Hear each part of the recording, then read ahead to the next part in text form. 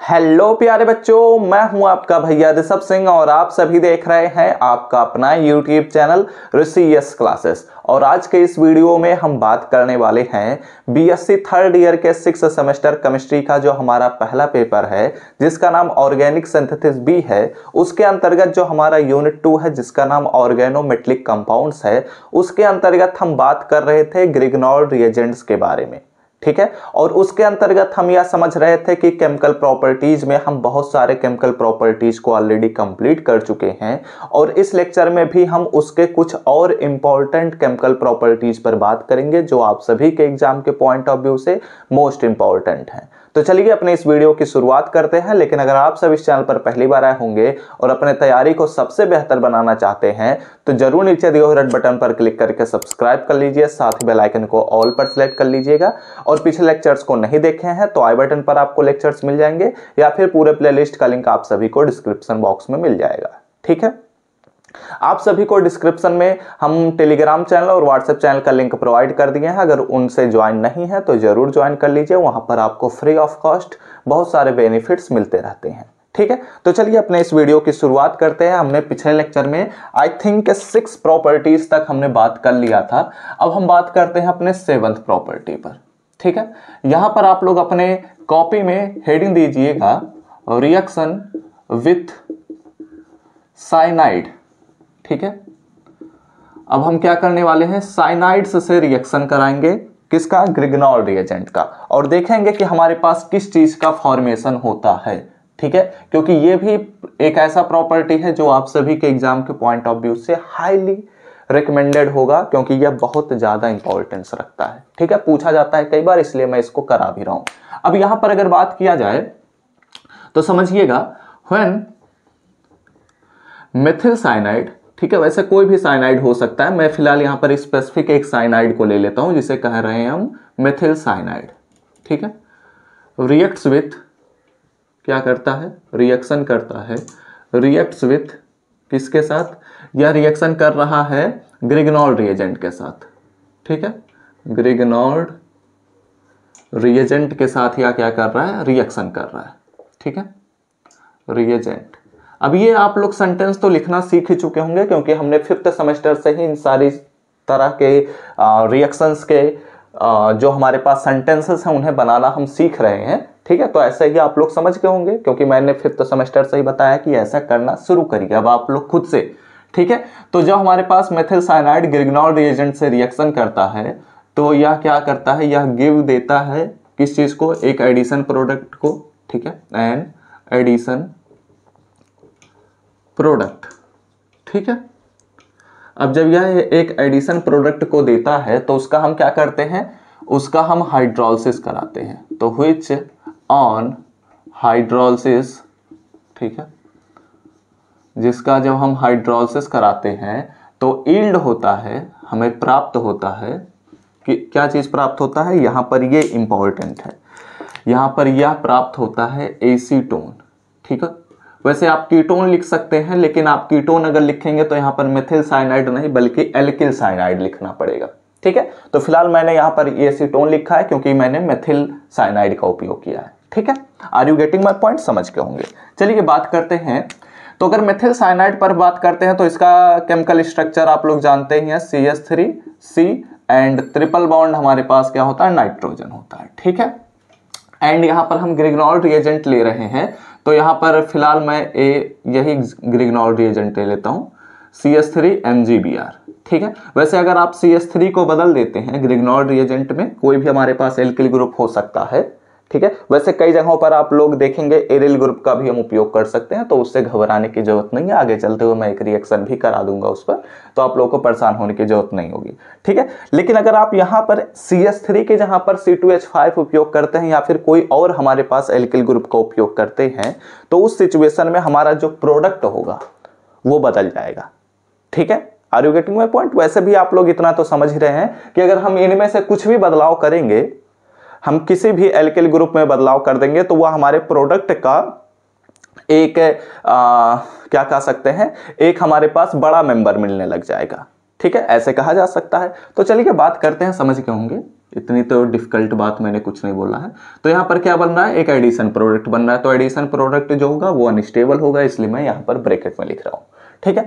तो यहाँ पर अगर बात किया जाए तो क्या होगा? ये बाउंड ब्रेक होगा और यहाँ से एक बाउंड ब्रेक होगा, एक पाई बाउंड ब्रेक होगा। तो सी एस थ्री यहाँ पर जाकर लिंक हो जाएगा M G B R nitrogen से लिंक हो जाएगा। तो इसलिए यहाँ पर मैं लिख दे रहा हूँ C S three single bond C ठीक है? एंड यहाँ पर हमारे पास डबल बॉन्ड यन रहेगा। एंड यहाँ से जो एक बॉन्ड ब्रेक हुआ है, उससे मैं सी एस थ्री को लिंक कर दे रहा हूँ, ठीक है? तो ये थोड़ा सा मैं बड़ा कर दे रहा हूँ ऐसे। एंड यहाँ पर हमारे पास नाइट्रोजन से ये M G B R link हो जाएगा तो मैंने यहाँ पर एम जी और बी आर को लिंक कर दिया। ओके अब यहाँ पर हम क्या करा रहे हैं? पूरे स्टेप को ध्यान दीजिए। हमने एक एडिशन प्रोडक्ट बना लिया, उसका अब हम क्या कराएँगे? हाइड्रोलिसिस कराएँगे। ठीक है? तो चलिए हाइड्रोलिसिस कराते हैं। अब अगर हम हाइड्रोलिसिस कराते हैं और यह जो प्रोडक्ट बना है, यह क्या है? एक अनस्टेबल प्रोडक्ट है। ठीक है? तो लिख देता हूँ मैं कि यह एक अनस्टेबल प्रोडक्ट है और इसका जब हम हाइड्रोलिस करा रहे हैं, ठीक है? तो इट मीन्स दैट यहाँ पर हम H two O slash H plus का उपयोग करेंगे एंड देन हमारे पास क्या क्या रिलीज़ होगा? यह बात तो हम जानते हैं कि M G O H B R यहाँ से रिमूव हो जाएगा एंड इसके साथ साथ हमने बताया है एसीटोन फॉर्म होगा तो अगर एसीटोन फार्म होगा, यानी कि नाइट्रोजन भी यहाँ से रिलीज़ होगा, ठीक है? तो आप चाहें तो प्रोडक्ट के तौर पर नाइट्रोजन का कंपाउंड लिखिए, या फिर आप यहीं पर लिख दीजिए कि वो भी रिलीज़ हो रहा है तो इससे कोई फ़र्क नहीं पड़ेगा। तो मैं फ़िलहाल यहाँ पर लिख दे रहा हूँ, ठीक है? तो हमारे पास इसके साथ साथ निकलता है अमोनिया गैस। क्या निकलता है? NH3 ठीक है? कैसे रिलीज़ होगा? आइए चलिए बात कर लेते हैं, ठीक है? पहले मैं प्रोडक्ट लिख देता हूँ, उसके बाद समझाता हूँ आप सभी को। तो यहाँ पर हमारे पास प्रोडक्ट क्या बन रहा है? C S three single bond C and single bond C S three and यहाँ पर हमारे पास नाइट्रोजन निकला है तो यहाँ पर हमारे पास ऑक्सीजन आकर लिंक हो गया। और इस प्रकार यह क्या बन गया? ये हमारे पास बन गया है एसीटोन ठीक है? तो यहाँ पर मैं लिख दे रहा हूँ एसीटोन ओके? एंड यहाँ पर आप लोग लिख लीजिए, इसका नाम है मेथिल साइनाइड ठीक है, मैथिल। वैसे मैंने सेंटेंस में लिखवा दिया है तो आपको दिक्कत नहीं होगी, लेकिन मैं फ़िलहाल लिख दे रहा हूँ। ठीक है? ओके? अब यहाँ पर हम इस स्टेप को समझ लेते हैं, क्योंकि ये बात तो हम पिछले काफ़ी सारे रिएक्शन से यह समझते आ रहे हैं कि ये कैसे रिलीज़ हो रहा है, लेकिन अमोनिया गैस यहाँ पर कैसे रिलीज़ हुआ है, इस पर चलिए ये बात कर लेते हैं। तो देखो बच्चों, यहाँ पर ये तो रिलीज़ हो गया, ठीक है? तो इसमें से हमारे पास एक हाइड्रोजन ओ OH ग्रुप जब यहाँ पर गया था तो ओ OH ग्रुप रिलीज़ हुआ है तो यानी कि एक हाइड्रोजन यहाँ पर बचा था। समझ रहे ना? H2O में से H प्लस और OH माइनस टूटा है। तो OH माइनस जो है जी बी आर से बॉन्ड बनाते हुए बाहर निकल गया। तो यानी कि वहाँ पर क्या बचा? H प्लस बचा है। ठीक है, अच्छी बात।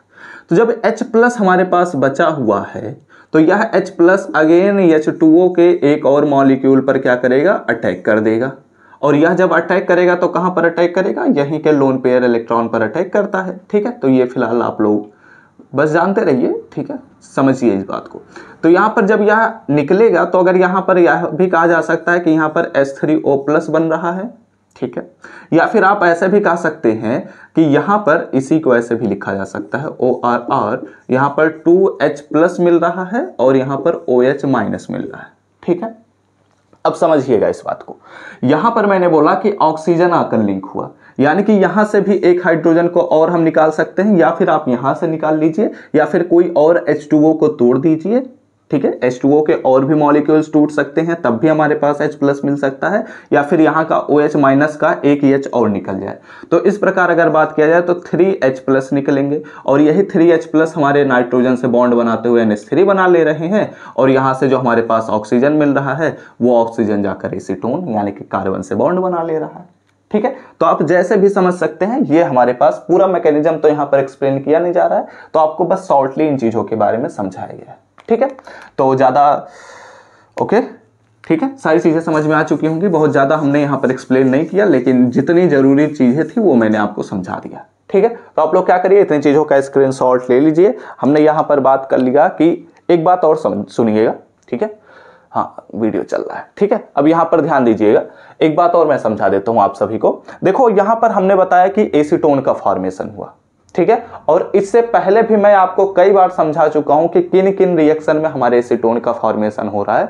तो वो बातें आपको ध्यान में रखनी है, क्योंकि वहाँ से क्वेश्चन बनेंगे।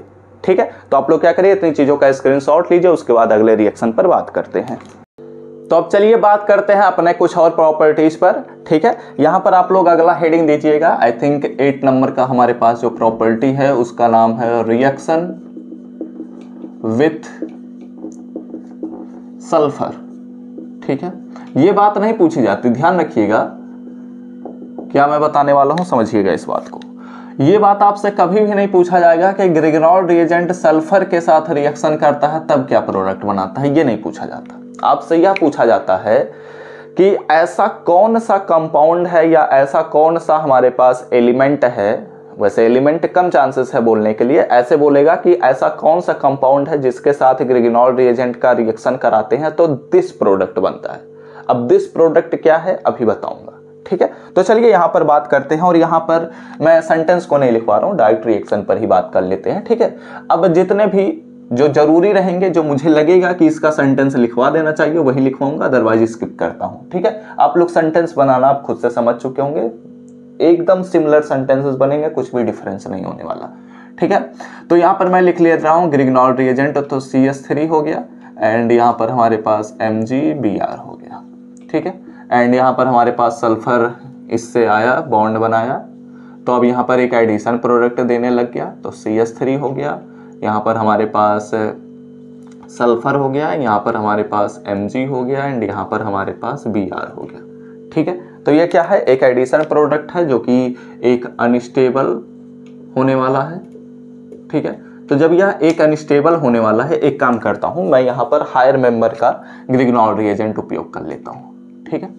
ऐसा क्यों कर रहा हूँ? अभी मैं समझा दूँगा। ठीक है? यहाँ पर मैं सी एस थ्री और C two C H two का भी उपयोग कर लेता हूँ। ठीक है? इसे इरेज करना पड़ेगा। कोई बात नहीं। तो यहाँ पर हमारे पास C S three C H two यानी कि कहा जा सकता है सी टू एच फाइव का मैं उपयोग किया हूँ। और सल्फ़र जो है, वो यहाँ का बॉन्ड ब्रेक करता है और यहाँ पर सल्फ़र दो बॉन्ड बना ही सकता है। तो इस कार्बन से और इस एम दोनों से जुड़ जाता है। ठीक है? तो यहाँ पर एमजी एंड बी बन गया। ठीक है? Are you getting my point तो अब यहाँ पर हम क्या करते हैं, जब यह एक अनस्टेबल है कंपाउंड है तो इसका हम क्या कराते हैं? इसका हाइड्रोलिस करा देते हैं। ठीक है? तो H2O स्लैश एच प्लस के प्रेजेंस में यहाँ पर हाइड्रोलिस होगा और जब यहाँ पर हाइड्रोलिस होगा तो हमारे पास क्या बाहर निकलेगा? इस पर अगर बात किया जाए तो हम सभी जानते हैं कि यहाँ पर M G O H and B R बाहर हो जाएगा। ठीक है? तो बचा क्या? बचा यहाँ पर हमारे पास C S three single bond C H two single bond यहाँ से सल्फ़र है एंड यहाँ से जब ओ OH बाहर निकला है तो H प्लस बचा ही है तो यहाँ पर H प्लस हमारे पास इस सल्फ़र से आकर लिंक हो गया। और इसका नाम आपसे पूछा जाता है, ये हमारे पास थायो एल्कोहल ठीक है? क्या है? थायो एल्कोहल ये तो हम सभी जानते हैं कि ये सल्फ़र है, और ये हम सभी जानते हैं कि ये एथिल मैग्नीशियम ब्रोमाइड है। ठीक है, जिसे हम ग्रिगनॉल रिएजेंट कहते हैं। अब ये बात आपको ध्यान रखनी है। आपसे बोला जाएगा कि ऐसा कौन सा कंपाउंड है जिसके साथ ग्रिगनॉल रिएजेंट का रिएक्शन कराने पर थायो एल्कोहल मिलता है? ठीक है तो ये बात आपको ध्यान रखनी है। उम्मीद करता हूँ थायो एल्कोहल से तो आपकी जान पहचान होगी ही फिफ्थ सेमेस्टर में ही। ठीक है तो उम्मीद करता हूँ सही ही होगा। ओके चलिए बात करते हैं अब अपने अगले रिएक्शन पर। रिएक्शन नंबर नाइन ठीक है? रिएक्शन विथ ध्यान रखिएगा, मैं वही रिएक्शन करा रहा हूँ जो आपसे कई बार पूछा गया है, ठीक है? और भी इनके अलावा रिएक्शन हो सकते हैं, लेकिन फ़िलहाल मैं इन्हीं रिएक्शन को करा देता हूँ। तो रिएक्शन विथ एथिल नहीं एथिलेमीन ना लिखते हुए यहाँ पर एक दूसरा रिएक्शन मैं करा देता हूँ, वो ज़्यादा पूछा जाता है। क्लोरामीन ठीक है? या फिर इसी को ही कहा जाता है मोनोक्लोरोएमीन ठीक है? ये आपसे अक्सर पूछ लिया जाता है। तो ध्यान रखिएगा, क्लोरामीन के नाम से ही पूछता है तो इसलिए मैं इसके नाम से ही करा दे रहा हूँ, ठीक है? तो यहाँ पर रिएक्शन क्या है? हमारे पास है C S three M G B R ठीक है? एंड क्लोरामीन मतलब हमारे पास हो गया एमीन यानी कि एन एस टू एंड यहाँ पर हमारे पास क्लोरीन आकर लिंक हो गया। अब इसका हम क्या कराते हैं? रिएक्शन कराते हैं, ठीक है? अब जब यहाँ पर हम रिएक्शन कराते हैं तो ध्यान दीजिएगा। हम सभी जानते हैं कि यह है हमारे पास Cl है। Cl जब भी प्रेजेंस दिखेगा तो उस सिचुएशन में हमें इसका हाइड्रोलिसिस कराने की ज़रूरत ही नहीं होती। लेकिन मैं यहाँ पर एक और हायर मेंबर का उपयोग कर लेता हूँ सी और यहाँ पर मैं ले लेता हूँ सी ठीक है? इससे क्या होगा, हमारा प्रोडक्ट आसानी से बनना शुरू हो जाता है। ठीक है? तो यहाँ पर अब क्या करते हैं? क्लोरीन प्रेजेंस है। तो क्लोरीन के प्रेजेंस में हमें इसका हाइड्रोलिसिस कराने की ज़रूरत ही नहीं है, या फिर मैं पूरे का हाइड्रोलिसिस ना ही कराऊँगा। तो यहाँ पर हमारे पास इट मीन्स दैट कि हमारे पास एक नया प्रोडक्ट बनेगा, जिसे हम कहेंगे एम ये हमारे पास क्या हो जाएगा? बाहर निकल जाएगा। ठीक है? अब जब यह हमारे पास बाहर निकल गया तो बचा क्या? ये पोर्शन और ये पोर्शन हमारे पास निकल गया है एन एच टू यहाँ से आकर लिंक हो जाएगा। तो यहाँ पर हमारे पास बनेगा C S three single bond C H two and single bond NH2 और ये जो NH2 लगने की वजह से यहाँ पर केवल एक ही NH2 ऐसे भी समझ सकते हैं कि ये हमारे पास प्राइमरी एमीन है, ठीक है? तो इसलिए इसका मैं नाम लिख देता हूँ कि ये हमारे पास है प्राइमरी एमीन आपसे अक्सर पूछा जाता है, इसलिए मैं इस रिएक्शन को करा भी रहा हूँ कि हम ग्रिग्नॉल रिएजेंट से प्राइमरी अमीन का फॉर्मेशन कैसे कर सकते हैं? तो उस सिचुएशन में आपको ध्यान में रखना है कि क्लोरामीन से रिएक्शन कराते हैं। ठीक है? इसका आप लोग नाम भी जानते हैं। यहाँ पर हमारे पास एथिल एमीन बना हुआ है। तो आप अगर नाम लिखना चाहें तो लिख सकते हैं कि ये हमारे पास क्या है? एथिल एमीन का फॉर्मेशन हुआ है। ठीक है? एंड सेंटेंस आप बना ही सकते हैं। कुछ नहीं करना है। आपको केवल इतना करना है कि ethyl when Grignard reagent reacts with chloramine it forms ethyl amine या फिर प्राइमरी एमीन ठीक है? क्योंकि प्राइमरी एमीन के नाम से ज़्यादा पूछा जाता है, इसलिए मैंने इस रिएक्शन को कराया है। ठीक है? एंड ये तो हम सभी जानते हैं कि ये तो हमारे पास एक साइड प्रोडक्ट के रूप में निकलेगा ही।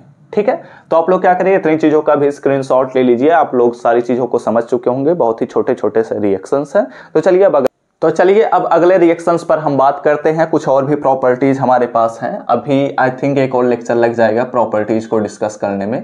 तो चलिए अब हम अपने दसवें नंबर के प्रॉपर्टी पर बात कर लेते हैं। ठीक है? तो टेंथ नंबर के प्रॉपर्टी में हमारे पास यह बात बोली जा रही है रिएक्शन विथ ठीक है? Reaction with ethyl chloroformate से अब हम रिएक्शन कराने वाले हैं, ठीक है? तो एथिल फॉर्मेट के बारे में तो आप सभी परिचित हो ही चुके हैं, क्योंकि हमने अपने पिछले लेक्चर्स में यह बात कर ही लिया है, ठीक है? पिछले कुछ रिएक्शंस में हमने इस बात को समझा है। ठीक है? तो अब जब ये बात हमने समझा कि एथिल क्लोरोफॉर्मेट क्या होता है तो यहाँ पर ध्यान रखिएगा, मैं यहाँ पर सेंटेंसेस को नहीं लिखवा रहा हूँ, ठीक है? यहाँ पर डायरेक्ट रिएक्शंस पर ही बात कर लेते हैं सेंटेंस तो आप लोग बना भी सकते हैं आप, ठीक है? ज़रूरत पड़ेगी तो आप लोग बता दीजिएगा, मैं अगले रिएक्शन से सेंटेंसेस को लिखवा दूँगा, लेकिन सेंटेंसेस को लिखवाने में थोड़ा एक्स्ट्रा टाइम लगेगा, इसलिए मैं थोड़ा सॉर्ट आउट कर रहा हूँ, ठीक है? तो एथिल क्लोरोफॉर्मेट यानी कि हमारे पास हो गया C L then single bond C double bond O single bond O C two H five इसी को ही हम क्या कहते हैं? एथिल क्लोरोफॉर्मेट ठीक है? क्योंकि एथिल फॉर्मेट के बारे में तो हम जानते ही हैं कि यहाँ पर हाइड्रोजन लगा रहता था। हाइड्रोजन को हमने क्लोरीन से रिप्लेस कर दिया, इसलिए इसे हम कहते हैं एथिल क्लोरोफॉर्मेट ठीक है? अब इसका हम क्या करा रहे हैं? इसका हम ग्रिग्नॉल रिएजेंट से रिएक्शन करा रहे हैं। तो C S three M G B R ठीक है? वैसे आप सी टू एच फाइव भी उपयोग कर सकते हैं तो उससे कोई दिक्कत की बात नहीं है। ठीक है? बस प्रोडक्ट का नाम चेंज हो जाएगा ऐसे सिचुएशन में। तो हमारे पास क्या मिलेगा? एक एडिशन प्रोडक्ट मिलेगा। कैसा मिलेगा? यहाँ पर हमारे पास सी एल है single bond C single bond O single bond M G B R ठीक है? Then single bond O C two H five आप लोग समझ गए ना कैसे मैंने किया? डबल बॉन्ड को ब्रेक किया। इतने रिएक्शंस हमने डिस्कस कर लिया। ये तो बताने की ज़रूरत नहीं होनी चाहिए। ये बॉन्ड ब्रेक होगा, ये बॉन्ड ब्रेक होगा, इसका एक पाई बॉन्ड ब्रेक होगा और देन हमारे पास सी एस थ्री इस कार्बन से जाकर लिंक हो जाएगा। तो मैंने सी एस थ्री लिख दिया। And M G B R जो है वो इस ऑक्सीजन से जाकर लिंक हो जाएगा तो वो मैंने लिख दिया। ठीक है? एंड ये हमारे पास क्या है? एक अनस्टेबल कंपाउंड है। ठीक है? तो यहाँ पर मैं लिख देता हूँ कि यह क्या है? एक अनस्टेबल कंपाउंड ठीक? अब जब यह एक एडिशन प्रोडक्ट ऐसा बना है जो कि अनस्टेबल है तो इसका हम क्या कराएँगे? क्या इसका हमें हाइड्रोलिस कराने की ज़रूरत है या नहीं है? बताओ बच्चों। ठीक है? तो अगर आपने थोड़ा सा बस ध्यान दिया होता कि यहाँ पर क्लोरीन लिंक है और क्लोरीन की वजह से इसको हमें हाइड्रोलिसिस कराने की ज़रूरत नहीं है, मैंने पिछले ही रिएक्शन में इस बात को डिस्कस किया है तो इसलिए यहाँ पर हम डायरेक्ट लिख सकते हैं कि यहाँ पर हमारे पास रिमूव हो जाता है एम और बी ठीक है? और जब यह यहाँ पर हमारे पास रिमूव हुआ तो हमारे पास प्रोडक्ट क्या बचा? हमारे पास प्रोडक्ट बन रहा है, ये हमारे पास सी एस थ्री है तो सी एस थ्री को मैं इधर कर देता हूँ। तो ये हमारे पास सी एस थ्री हो गया सिंगल बॉन्ड सी हो गया, ठीक है? एंड मैंने हाइड्रोलिस तो कराया नहीं है कि हमारे पास हाइड्रोजन की एडिशन होगा, ठीक है? तो इसलिए हमारे पास यहाँ पर O C two H five मिल जाएगा एंड यहाँ से हमारे पास एम जी बी आर भी निकला है तो ये ये बॉन्ड और ये बॉन्ड मिलकर डबल बॉन्ड बना लेंगे तो डबल बॉन्ड हमारे पास ऑक्सीजन हो जाएगा, ठीक है? तो अब यहाँ पर अगर ध्यान दिया जाए तो इन दोनों में क्या डिफरेंस है? यहाँ पर क्लोरीन के जहाँ पर हमारे पास मेथिल ग्रुप आकर लिंक हो चुका है। ठीक है? तो इसलिए इसका हम क्या नाम लिख सकते हैं? इसलिए इसका हम नाम लिख सकते हैं इसी के अकॉर्डिंग कि ये हमारे पास एथिल क्लोरोफॉर्मेट था, क्योंकि क्लोरीन आकर लिंक हुआ है, यहाँ पर मेथिल आया है। तो मेथिल एथिल मेथिल क्लो एथ एथिल मेथिल फॉर्मेट भी लिखा जा सकता है। या फिर इसी को ऐसे भी लिखा जा सकता है, ये हमारे पास बन चुका है एथिल एसिटेट ठीक है? अगर आपको कुछ ना समझ में आए तो आप इसका जनरल नाम तो जानते ही हैं। वो नाम लिख दीजिए। हमारे पास क्या बना है? एथिल एसिटेट ठीक है? ये हमारे पास एथिल ग्रुप जुड़ा है। और अगर हम नॉर्मली बात करते हैं तो C S three C double O H होता है। तो एच रिप्लेस होकर C C two H five link हुआ यानी कि एथिल ग्रुप जुड़ा है। तो इसलिए इसको हम एथिल एसिटेट कह सकते हैं। ठीक है? Are you getting my point सारी चीज़ें समझ में आ चुकी हैं। नाम तो बहुत ही आसान था। ठीक है? बस थोड़ा सा मैंने डिफ़िकल्ट बनाया जानबूझ कर कि आप लोगों को इजी नाम तभी समझ में आएगा कि हाँ ये इजी है। ठीक है? तो यहाँ पर अगर आप नाम लिखना चाहें तो इसका भी नाम लिख दीजिए। ये हमारे पास है एथिल एंड ये हमारे पास है क्लोरो एंड ये हमारे पास है फॉर्मेट ठीक है? वैसे नाम तो आप लोग समझ ही गए थे रिएक्शन से ही तो आप लोग लिख ही लिए होंगे। चलिए अब बात करते हैं अपने अगले रिएक्शन पर, यानी कि इलेवंथ नंबर के। तो यहाँ पर हमसे बात यह बोली जा रही है रिएक्शन विथ यहाँ पर हम पढ़ने वाले हैं। अगला हमारे पास रिएक्शन आता है रिएक्शन विथ मेथिल ठीक है? मेथिल और यहाँ पर, चलो अभी रिएजेंट लिखूँगा तो उसके अकॉर्डिंग नाम भी लिख दूँगा, ठीक है? तो हमारे पास क्या है? चलिए ग्रिगनॉल रिएजेंट मैंने ले लिया C S three M G B R ठीक है, ये मैंने ले लिया। देन इसका मैंने रिएक्शन कराया, ध्यान दीजिएगा। यहाँ पर हमारे पास है सी एस थ्री ठीक है। देन हमारे पास है ऑक्सीजन देन है हमारे पास C H two and then हमारे पास सी एल है, ठीक है। तो इसके अकॉर्डिंग अगर बात किया जाए तो यहाँ पर हमारे पास है मेथॉक्सी ठीक है। तो इसका हम नाम लिखेंगे मेथॉक्सी ठीक है। मेथॉक्सी एंड यहाँ पर हमारे पास क्लोरीन है। तो मेथॉक्सी क्लोरो एंड ये हमारे पास है मेथेन तो इसलिए इसका हमारे पास नाम हो जाएगा मेथॉक्सी क्लोरोमेथेन ठीक है? तो अब इस बार मैं किससे रिएक्शन करा रहा हूँ? इस बार मैं रिएक्शन करा रहा हूँ मेथॉक्सी क्लोरोमेथेन से. ठीक है? और इसका मैं क्या कराने वाला हूँ? ग्रिगनॉल रिएजेंट से रिएक्शन कराने वाला हूँ. तो अब यहाँ पर ध्यान दीजिए क्लोरीन है। ठीक है? तो क्लोरीन अगर प्रेजेंस है तो उस सिचुएशन में हमारे पास direct M G B R C L बाहर निकल जाएगा। तो यहाँ पर वही काम कर देते हैं। तो यहाँ पर हमारे पास क्या निकला? प्लस में M G and C L ठीक है, जिसे मैं ब्रेकेट में बना दूँगा, और यहाँ पर बी आर हमारे पास बाहर निकल गया। बचा क्या? हमारे पास क्या क्या मिल रहा है? सी एस थ्री तो यहाँ पर मैंने लिखा सी एस थ्री यहाँ पर हमारे पास क्या मिल रहा है? ये बाहर ही हो गया है एंड ये बाहर हो चुका है। तो ये हमारे पास पोर्सन आकर लिंक हो जाएगा सीएल से ही। देखो, ध्यान रखना बच्चों, ये पोर्सन मत ऐड कर देना। ये वाला पोर्शन ऐड होगा, क्योंकि यही बाउंड तो हमारे पास टूटा है। तो ये बाउंड जब टूटा है तो यहाँ पर सी एस टू जो है, वह ग्रुप आकर सी एस थ्री से लिंक होगा। तो इसलिए यहाँ पर हमारे पास सी एस टू हो जाएगा एंड देन हमारे पास ऑक्सीजन आकर लिंक होगा। देन हमारे पास सी एस थ्री आकर लिंक हो जाएगा। ठीक है? Are you getting my point ये बातें आप लोग समझ गए होंगे। ठीक है? तो इस प्रकार हमने क्या देखा कि जब मेथॉक्सिक्लोरोमेथेन से ग्रिग्नॉल रिएजेंट का रिएक्शन कराते हैं तो इस प्रकार से पूरा रिएक्शन होता है। ठीक है? तो अभी आप क्या करिए, इतनी चीज़ों का स्क्रीनशॉट ले लीजिए। हमने एक और रिएक्शन को डिस्कस कर लिया। यहाँ पर एक मिनट मैंने नाम नहीं लिखा ना। यहाँ पर हम लिख सकते हैं मेथॉक्सी मेथॉक्सी एथेन ठीक है? ये हमारे पास मेथॉक्सी पोर्सन हो गया और ये हमारे पास एथेन हो गया। ठीक है तो नाम मैं लिख देता हूँ। इसका नाम हमारे पास है मेथॉक्सी एक मिनट। ये हमारे पास एथेन है, लेकिन यहाँ पर भी कार्बन की संख्या है तो फ़िलहाल हाँ मेथॉक्सी एथेन ही रहेगा। ठीक है? मुझे लगा मेथॉक्सी प्रोपेन हो जाएगा। ठीक है? नहीं मेथॉक्सी एथेन ही रहेगा। ठीक है? क्योंकि हमने मेथॉक्सी वर्ड उपयोग किया यानी कि ओ सी एस थ्री को वह ऑलरेडी डोनोट कर रहा है, ठीक है? तो आप लोग क्या करिए, इतनी चीज़ों का स्क्रीन ले लीजिए। अदरवाइज़ इसका तो और भी नाम हो सकता है ना, कोई दिक्कत की बात तो नहीं है, ठीक है? और मैंने सारी चीज़ों के बारे में डिस्कस कर ही दिया है, आप लोग इतनी चीज़ों का स्क्रीन ले लीजिए, उसके बाद हम अगले रिएक्शन की तरफ़ बढ़ते हैं। तो चलिए इस लेक्चर को यहीं पर हम समाप्त करते हैं। जो अगला लेक्चर आएगा, उसमें हम ग्रिग्नॉल रिएजेंट को पूरी तरीके से कंप्लीट कर लेंगे। आई थिंक अगला लेक्चर हमारे पास 40 से 45 मिनट का बनने वाला है, क्योंकि कुछ ऐसे प्रॉपर्टीज़ हैं जो थोड़े से बड़े हैं, जैसे फिनॉल का सिंथेसिस हम बात करेंगे। एंड देन हमारे पास कुछ ऐसे रिएक्शंस हैं जो आप सभी के एग्ज़ाम के पॉइंट ऑफ़ व्यू से छोटे नंबर्स के लिए इंपॉर्टेंस रखते हैं। ठीक है तो उन्हें भी हम डिस्कस कर लेंगे। ओके तो इस लेक्चर को यहीं पर हम समाप्त करते हैं। उम्मीद करता हूँ सारी चीज़ें आपको समझ में आ रही होंगी। कुछ भी अगर डाउट होता है तो ज़रूर कमेंट सेक्शन में पूछ लीजिएगा। मैं कोशिश करूँगा कि आपके सभी कमेंट्स के रिप्लाई ज़रूर करूँ। एंड वीडियोज़ अच्छे लग रहे हो तो ज़रूर लाइक करिएगा, साथ ही साथ अपने दोस्तों के साथ शेयर करिएगा। एंड ज़रूर कमेंट करिएगा क्योंकि आपके कमेंट्स मुझे मोटिवेट करते हैं। एंड इस चैनल पर पहली बार आए होंगे तो ज़रूर सब्सक्राइब करने के साथ बेल आइकन को ऑल पर सिलेक्ट कर लीजिएगा। आप अगर सब्सक्राइब नहीं करेंगे तो आपके पास नोटिफिकेशन कैसे जाएगा? और नोटिफिकेशन नहीं जाएगा तो आप क्लास को अटेंड नहीं करेंगे अटेंड नहीं करेंगे तो आपकी तैयारी बेहतर नहीं होगी। तैयारी बेहतर नहीं होगा तो एग्ज़ाम में नंबर कम आएँगे। तो एक चीज़ों से सारी चीज़ें लिंक हैं तो शुरुआत छोटे छोटे स्टेप से करो, ठीक है? तो चलिए मिलते हैं अपने नेक्स्ट वीडियो में, तब तक पढ़ते रहिए, संघर्ष करते रहिए और सफल होते रहिए।